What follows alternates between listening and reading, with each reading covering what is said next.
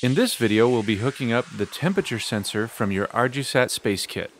In order to get started, we'll need four jumper wires, an Arduino Uno, the temperature sensor, and a breadboard. Step 1. Plug the sensor into the breadboard. As you can see, we'll be taking this sensor and putting the pins into column E of the breadboard so that the VCC pin is on row 1 and the ADD0 pin is on row 6. To begin, we'll be connecting the VCC pin on the sensor to the 3.3 volt on the Arduino. I've hooked up to column A, row 1 on the breadboard, and I'll take the other end of the jumper wire and hook it into the 3.3 volt pin on the Arduino. Next, we're going to connect the ground from the sensor to the ground of the Arduino.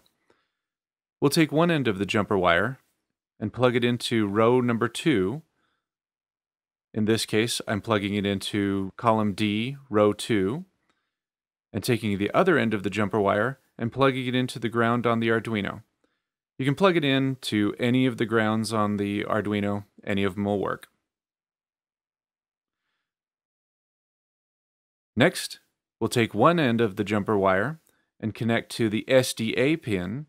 So on the breadboard, move this a little bit so you can see, we're going to plug into row number three and column B, although you could plug into anything on row number three because they're all connected to the same pin. We'll take the other end of the jumper wire and plug it into A4 or analog 4 of the Arduino board. There you can get a better look at it.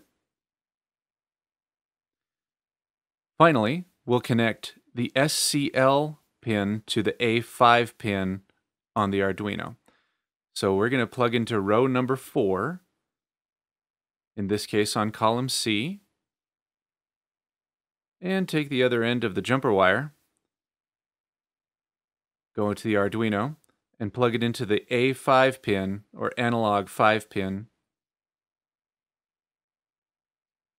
like so. Congratulations! You've now successfully hooked up your temperature sensor to your Arduino board.